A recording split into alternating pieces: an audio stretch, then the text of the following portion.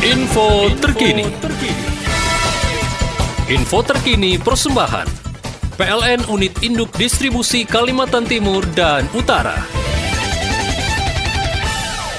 Komisi 6 DPR RI mengapresiasi kinerja keuangan PT PLN Persero di bawah pimpinan Direktur Utama PLN Darmawan Prasojo. Hal tersebut disampaikan oleh Wakil Ketua Komisi 6 DPR RI Arya Bima pada rapat dengar pendapat antara Komisi 6 DPR RI dengan PLN di Jakarta Rabu 3 April 2024.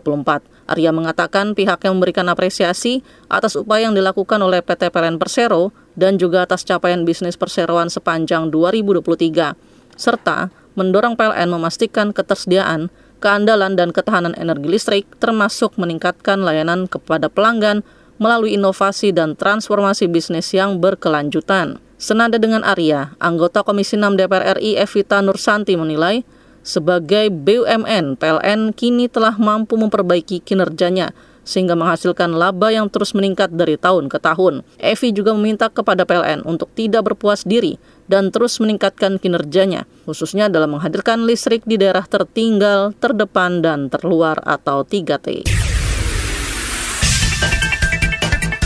Demikian info terkini. Persembahan PLN Unit Induk Distribusi Kalimantan Timur dan Utara.